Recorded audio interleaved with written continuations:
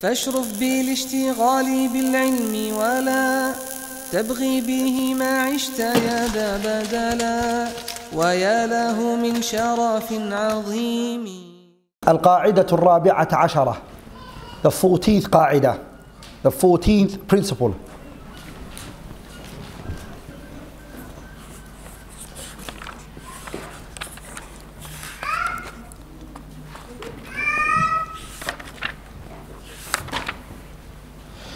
أنهم يعتقدون أهل السنة والجماعة believe أن اتباع الأهواء في الديانات follow your desires in the religion البدع innovation أعظم is greater من اتباع الأهواء في الشهوات that is greater than following your desires in matters of shahawat non-related religious matters so to follow your desires in religious matters is greater for them than following your desires in worldly matters.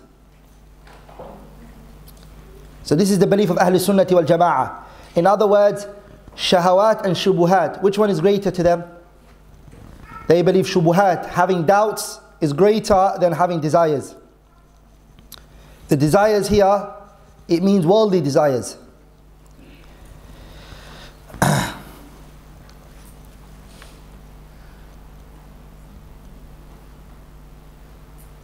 ولذلك شيخ الإسلام ابن تيمية in his debate with some of the innovators he said the following to them there's a well there's a well documented debate of Shaykh al-Islam ibn Taymiyyah he mentions he says فقال لي one of them said to him البدعة مثل الزنا that the innovation is like zina وروى حديثا في ذم الزنا and then he narrated a hadith in rebuking and speaking against zina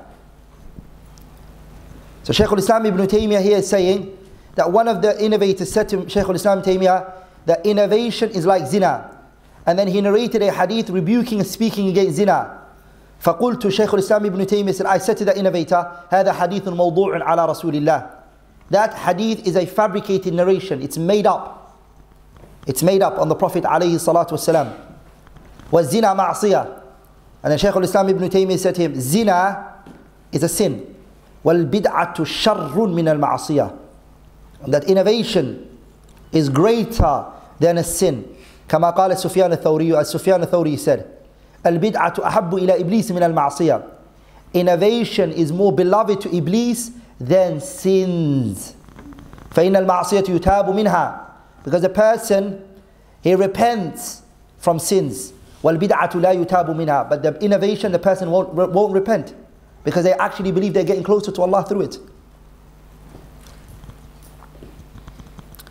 Until Shaykh al-Islam ibn Taymiyyah brought a practical, authentic example from the Prophet alayhi salatu wasalam. He brought the hadith in Sahih al-Bukhari min hadith Umar ibn al-Khattab. أن رجلا كان يدعى حمارا There was a man whose name used to be called Himar. That was his name. وكان يشرب الخمر This man used to drink alcohol. وكان يضحك النبي صلى الله عليه وسلم and he used to make the Prophet laugh. He was a very joyful person. He used to make the Prophet laugh a lot. He used to love the Prophet, so he would always make the Prophet laugh. And the Prophet would laugh. وكان كلما أوتي به النبي صلى الله عليه وسلم جلده الحد. When the Prophet was told that he drank alcohol and the witnesses would come, the Prophet would whip him. And he would get whipped every time. فلعنه رجل مرة. Then a man one day cursed him. He said, لعنة الله لعنة الله عليه. May Allah's curse be upon him. أما لعنه الله. May Allah curse him. The word la'an means الطرد من رحمة الله. May Allah's mercy be dist dist uh, distance from him.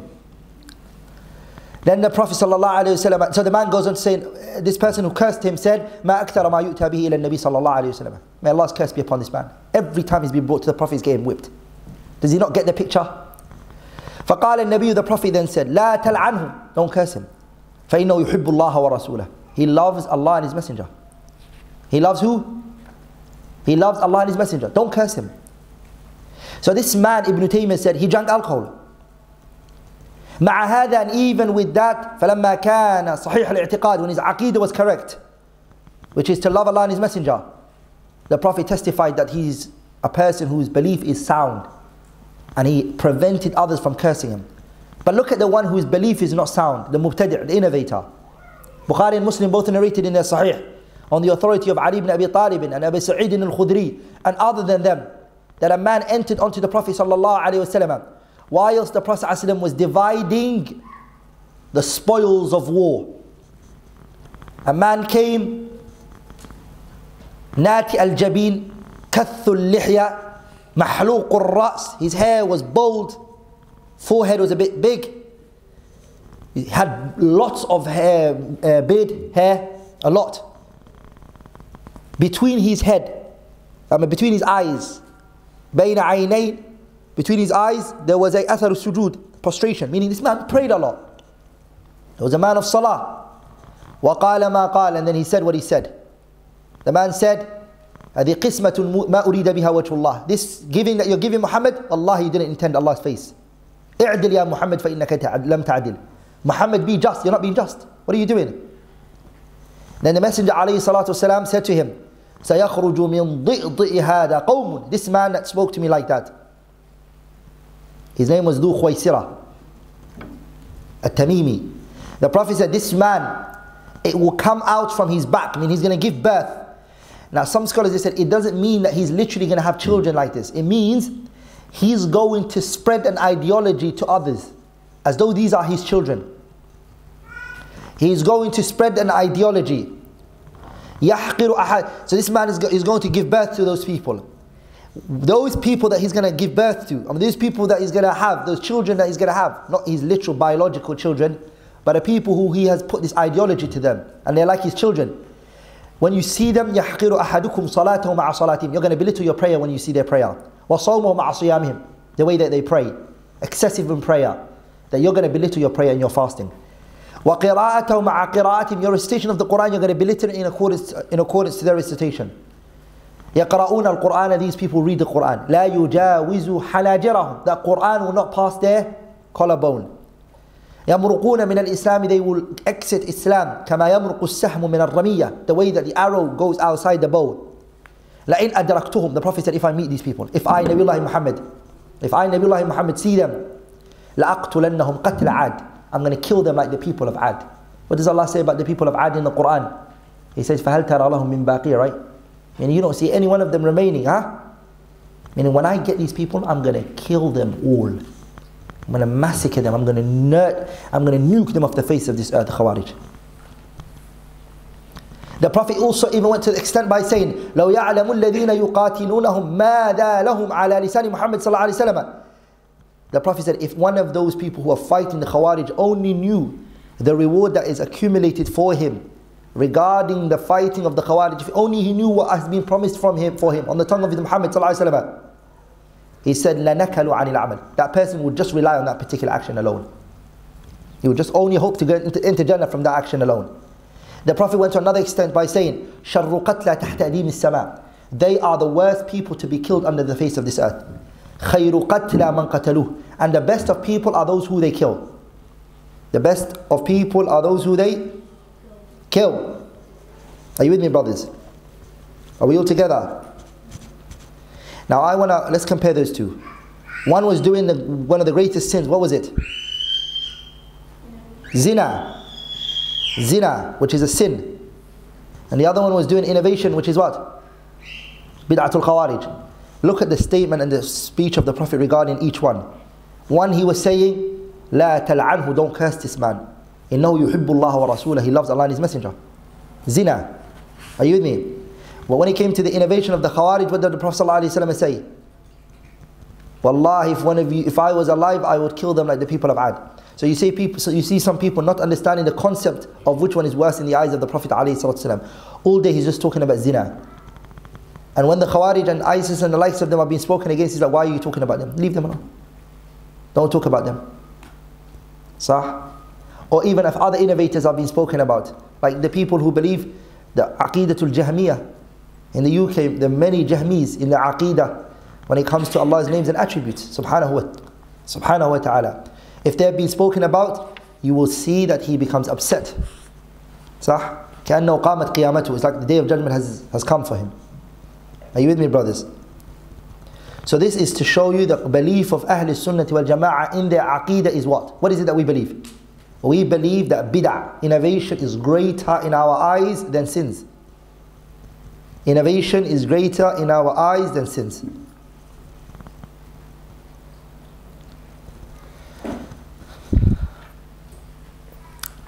القاعدة الخامسة عشرة the 15th قاعدة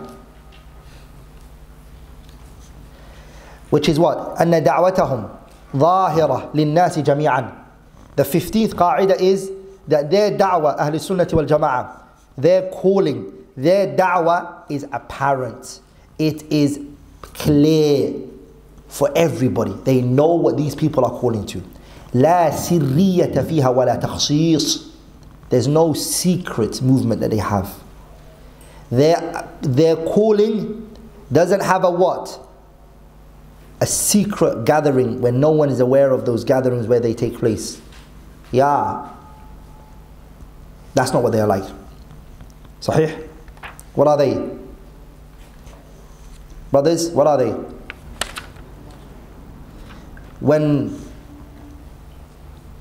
Aisha radiallahu ta'ala anha, they came to her and they asked, asked her, Aisha, what is it that the Prophet does in private?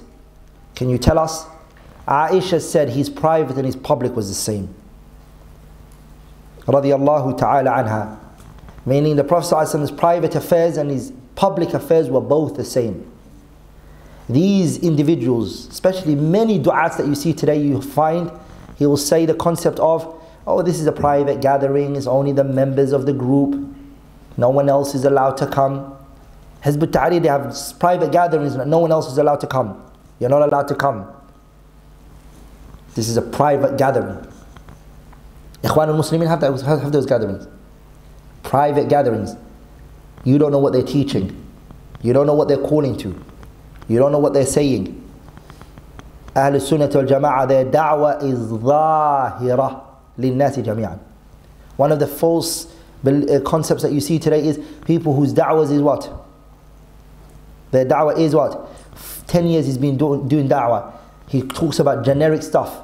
He hides his belief. 10 years he's been doing da'wah. You don't know if he's a sufi is he salafi? What is this person? What does he believe? He just talks about good manners and good etiquette and smile for the sake of Allah. Things like that. He does not have any aqidah related matters, if all of that is secret, private. He doesn't bring it out in the open. Is that how the da'wah of the Anbiya and the Rusul were? Is that how the Prophet's da'wah was? La. Look what Allah said in the Quran. قُلْ هَذِهِ سَبِيلي This is my path. أَدْعُو إِلَى اللَّهِ I call Allah to it. So the Prophet said, hey, everybody, this is my path. Here it is. not hiding it from you guys. This is my path. أَدْعُو إِلَى اللَّهِ I call Allah to it. على بصيرة with insight أنا I do that ومن اتبعني and anyone who follows me does that as well anyone who follows me they also call to that path of mine and they call it out by allowing everyone know because look what the Prophet said قل هذه سبيلي would he have said this is my path if the path is not known the path is known it's clear to everybody what the path of the Prophet was عليه الصلاة والسلام ومن اتبعني and those who follow me so subhanallah exalted is Allah وما أنا من المشركين and I'm not from the mushriks Look what the Prophet ﷺ said. قل يا, أهي قل يا أيها الناس إني رسول الله إليكم جميعا الذي له ملك السماوات والأرض لا إله إلا هو يحيي ويميت فآمنوا بالله ورسوله النبي الأمي الذي يؤمن بالله وكلمته وكلمته وكلمته وكلماته sorry واتبعوه لعلكم تهتدون Allah says in this ayah say O Muhammad those of you who believe I am the messenger of Allah to, to all of you. To the Lord who owns the samawat and He owns the ard. La ilaha illa huwa, there is none worthy of worship except Him subhanahu wa ta'ala. Yuhyi, He gives life. Yumit, and He takes life. فآمنوا بالله believe in Allah. ورسوله believe in His messenger. Nabi the Prophet. Al-Ummi, the illiterate one. Doesn't read nor write. الذي يؤمن بالله, the one who believes in Allah. وكلماته and his words واتبعوه follow him لعلكم تهتدون you will be guided A man came to the Prophet ﷺ in the hadith and Imam and Imam Ibn Abi Asim narrated in Kitab al-Sunnah بسند صحيح that a man came to the Prophet and said, Ya Rasul, advise me. The Prophet said, U'budullaha wa la tushrik bihi shay'a. Worship Allah and don't associate partners with Him. Wa aqim salah establish the prayer. Wa ati zakat and give charity, zakat. Wa sum Ramadan, fast the month of Ramadan. Wa hujja bayta wa a'tamir. Do Hajj and do Umrah. Wasma wa ati' listen and obey your leader. Wa alayka bil alaniyah be a person who is open. Wa iyyaka wa sirri and stay away from being private. So what did the Prophet warn him from? Don't be a secret movement. Don't be a secret movement. This is how you see. Anybody who works with these organizations will see that they have this methodology. They have beliefs that we can't manifest that now. We're not going to tell the people now. They are not ready for it now. Sah? That's their belief. Ahl Sunnah wal Jama'ah are not like that. ثوبان رضي الله تعالى عنه he said that the Prophet ﷺ said in Sahih Muslim لا تزال طائفة من أمتي ظاهرين ما معنى ظاهرين apparent they are, they are in the open that a group of my ummah are always going to be apparent clear everyone can see them how akwas there they are ظاهرين they are apparent على الحق they are apparent on the truth لا يضرهم من خذلهم it won't harm them the one who deceives them. If one refutes them or speaks against them or one of their friends that used to be with them leaves them, it doesn't harm them. لا يضر من خذلهم. حتى يأتي أمر الله until the affairs of Allah subhanahu wa ta'ala comes and they are upon that path. Umar ibn Abdul Aziz said a very powerful statement. He said, إذا رأيت قوما If you see a people يتناجون في دينهم دون العامة If you see a people whispering amongst themselves in regards to a religious matter but they don't want the general mass to know. They want to keep this all private between themselves. فَعْلَمْ know أَنَّهُمْ عَلَى تَأْسِيسِ الضَّلَالَةِ Know that these people are foundating, meaning they are establishing misguidance. That's what they're trying to do. They're working towards misguidance. And Imam al-Darimi narrated it. So you hear a student of knowledge teaching. You're like, Akhi, mashallah, what do you study? I study with Sheikh so-and-so. So what does he teach you guys? Oh, he teaches us little notes of his. Hey, can anyone come? No, they can't. What? It's private. Hey, does it get recorded? Is it out there? Does anyone know what he's called? No, no, no, no, it's private, it's private. You can't get to there. You can't get to that class. And so what is it, what is it that he's teaching? No, we can't, he told us not to tell anyone. It's recorded. Yeah, he told us no one is allowed to record it. I know people do that. So if you see a group of people doing that in their religious matters, فَعْلَمْ know أَنَّهُمْ عَلَى تَأْسِيسِ الضَّلَالَةِ what they are doing is that they are planning and they are setting a path of misguidance. This is the statement of Umar ibn Abdul Aziz rahimahullah ta'ala. ولذلك Allah subhanahu wa ta'ala said to the Prophet, وَاصْبِرْ نَفْسَكَ مَعَ الَّذِينَ يَدْعُونَ رَبَّهُم be, start, be patient with those who are calling to their Lords بِالْغَدَاةِ وَالْعَشِيِّ يُرِيدُونَ وَجْهَ وَلَا تَعْدُ عَيْنَاكَ عَنْ Don't turn your eyes away from them. Meaning be with the Muslims. Be with those who are righteous. Don't cut off and stay by yourself and make a little group and little circle. La. Also the Prophet sallallahu alaihi wasallam he said, "Hal tunsaruna? Are you given victory? Is Allah giving you victory? وَتُرْزَقُونَ And are you being provided for? إِلَّا بِضُعَفَائِكُمْ Except for the weak. The reason why Allah is giving you victory and the reason why Allah is providing for you is because of your weak. They're making dua for you when you help them. Are you with me?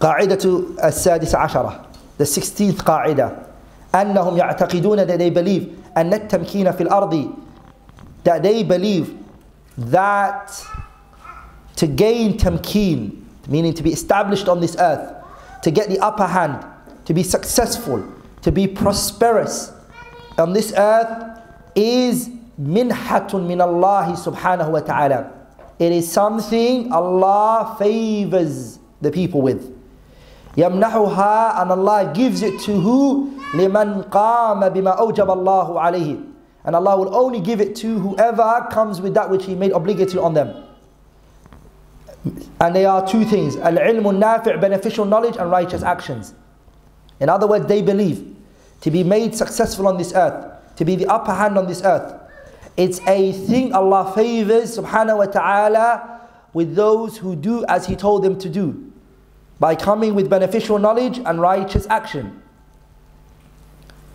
So pay attention. Pay attention, this is a qa'idah you need to memorize. At-tamkinu fil ardi is a wasila la ghaya. Are you with me brothers and sisters? Allah to establish you, to establish you on this earth is a means, it's not the goal. It's not the goal. In other words, you should not be running after being established on this earth. That shouldn't be your goal. That shouldn't be what you're looking for. That shouldn't be your purpose and your aim to be established on this earth. No. Your aim should be to establish Tawheed on this earth, to bring Tawheed. Whether you are placed as a leader or you're put in charge, or whether the Muslims are even made, uh, tamkeen is given to them. That's not besides the point. Are you with me, brothers? Some prophets, they came and they never, ever, ever governed anywhere. Sahih. Nabi Yusuf, who did he live under? He lived under a disbeliever. Never did he take leadership. He never was in charge. He never got tamkeen on the earth. Did he get it? He didn't get it. But that wasn't what he came here to do. He came to do what? At tawheed. That's what he was doing. That's why Allah subhanahu wa ta'ala He says in, in the Quran وعد الله الذين آمنوا منكم وعملوا الصالحات ليستخلفنهم في الأرض كما استخلف الذين من قبلهم وليمكنن لهم دينهم الذي ارتضى لهم وليبدلنهم من بعد خوفهم أمنا. يعبدونني لا يشركون بي شيئا. وعد الله Allah made a promise. Allah, the promise He made is الَّذِينَ آمَنُوا Those who believe in Allah. وَعَمِلُوا الصَّالِحَاتِ And they come with righteous actions. لا يستخلفنهم That He's going to make them governors on this earth. كما استخلف الذين من قبلهم Like Allah made those who came before them as governors on this earth. So why, how did Allah make them governors? They didn't run after khilafah. They didn't run after tamkeen. That wasn't their goal. They ran after al-iman wal-amal salih And tamkeen came about it will naturally come about. I'll give you an example. When you travel, do you shorten your prayer? Do you travel to shorten your prayer? You see the difference? Shortening your prayer occurs when you travel. That's not the goal that you left your house for. You left your house to go somewhere. You want to go to Birmingham. That's where you want to, you want to visit a family member. But in the means, on the way, the shortening will come. It is dim-wittedness that you travel to shorten your prayer. Rather, it becomes impermissible for you to do so. Isn't that the case? The goal is to establish Tawheed on this earth. On the way comes Tamkeen with it. But once you turn the tables and you run after Khilafah and Tamkeen, you become like those who are today talking about politics 24 7. Do you get the point? Khilafah and Tamkeen is a wasila, la ghaya. They've made it into a ghaya, a goal, an ultimate goal. So they're running after tamkeen. So what are they dropping? They're dropping the ultimate goal that was needed, which is ibadatullah wahda. Al-iman wal-amal salih doesn't come about from these people. That was the goal. That was the reason, right? So now that person who is traveling to shorten the prayer, are they traveling to visit family members? No, that doesn't happen, does it? That's just ala sabili tamthil, brothers. So once you come with iman and amal salih, tamkeen will come. You don't need to look you don't need to look after look for it. Sah? You don't need to. The messenger did not run after khilafah, nor did he run after tamkeen. He called to Allah. He called, he came with iman. He came with amal salih, and guess what? Ansar came to him.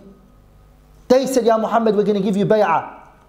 على السمع والطاعة في منشطنا ومكرهنا وعسرنا ويسرنا وأثرة علينا they gave him this pledge of allegiance and he took it from them. He said, okay. And that we will protect from you what we protect from our women, our children. But in Mecca, when they put khilafah to him and they put leadership to him, what did he say to them? What did he say? He said, I don't want to take it. He rejected it. He turned it down. He wanted al-iman wal-amal al-salih to establish. Are you there? ولذلك the day of judgment a prophet is going to come Nabiyun walaysa ma'ahu ahad. A prophet is going to come. Is there anybody with him? No one's with him. He's by himself. What happened to this prophet? Where's the khilafah? Where's the tamkeen? He didn't run after that. Are you with me? He was running after calling to tawheed. If it comes that Allah establishes you on the earth, Allah gives you the upper hand, Allah makes you a leader, Allah puts you in charge, فَنِعِمَّهِ Good. But that's not what you're looking for. Sah? When you go to teach Quran, you go and you teach Quran for what sake? Allah's sake, right? To educate and benefit the people with the Quran. If it happens that the people who you were teaching give you money, take it. But can you go there for the money? Can you? No, you can't. This intention is incorrect. Are you with me, brothers? The Prophet ﷺ told us in a hadith, this hadith explains to us that if we're looking for khilaf al-rashida, a khilaf that's in accordance to the kitab and the sunnah, and kana alayhi salaf salih and also to be upon that which the pious predecessors were upon, is, is for them to be upon manhajul, manhajul Nabi sallallahu alayhi wasallam, that they are upon the methodology of the Prophet alayhi salatu wasalam. Nu'man ibn Bashir narrated, are we today looking for a Khilafatul Rashida? A, or are we trying to look for a Muslim leader who is just and brings about good? Look what the Prophet said. He said, he said, تكون النبوة prophecy will take place فيكم ما شاء الله أن تكون as long as Allah wills ثم يرفعها الله then Allah will lift that ثم يرفعها الله إذا شاء أن يرفعها Allah will lift it when He wishes to lift it ثم تكون خلافة then a khilafah will come على منهاج النبوة That khilafah is in accordance to the Prophet's methodology. فتكون ما شاء الله أن تكون And then it will be as long as Allah wills it to be. ثم يرفعها الله then Allah will lift it. ثم تكون ملكا عاضا Then a kingdom will come where the person is holding onto the kingdom. فيكون ما شاء أن يكون It will be for as long as Allah wills it for it to be. Then Allah will lift it when He wishes to lift it. ثم تكون ملكا جبريا Then there's going to come a tyrant kingdom. And then Allah subhanahu wa ta'ala will let it be for as long as He wills it to be. Then Allah will lift it when He wishes to lift it. ثُمَّ تَكُونُ خِلَافَةً Then there's going to come a khilafah. Are, we, are you with me brothers? How's this khilafah going to be? عَلَى مِنْهَاجِ النُّبُوَّةِ That khilafah that's going to come is going to be according to the Prophet's methodology. Pay attention now. Are you with me brothers? So the khilafah, for we know now there's going to be mulk, adan, and there's going to be what? Mulk which is jabari, right? Then after that, Allah is going to bring what? A khilafah. This khilafah is in whose methodology? على منهاج من? بالله عليكم Can Hizb al-Tahrir say to us that the khilafah they're going to bring is khilaf ala minhaj al-nubuwa when you don't even take khabar al-ahad, you don't, you don't even take the Prophet as the hadith? What khilafah are you going to bring? صح? Sheikh Muhammad Nasiruddin al-Albani rahimahullah said, if a khilafah came today, the first people who would actually oppose that khilafah are Hizb tahrir Wallahi, Sheikh Nasir said that. They are the first people that are going to oppose it, that are going to go, go against it.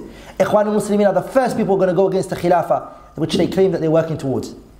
They're the first ones who are going to destroy it. لأن the khilafah that, that's going to come, it's going to be ala minhaj nubuwa upon the Prophet's manhaj.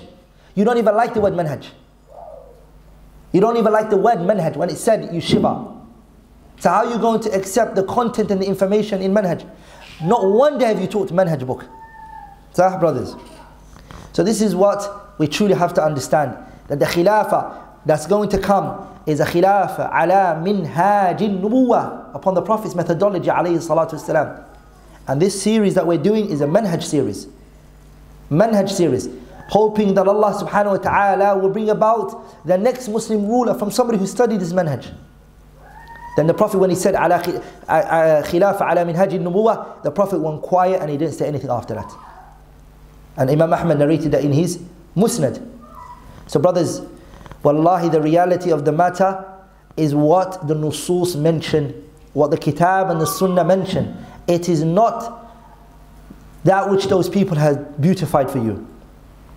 وإياك وآراء الرجال وإن زخرفوه لك بالقول Awza'i said and stay away from people's opinion even if they beautify it with you their, with their speech وإن زخرفوه لك بالقول and they keep saying you're going to be khilafah we're going to be khilafah we're working towards khilafah huh?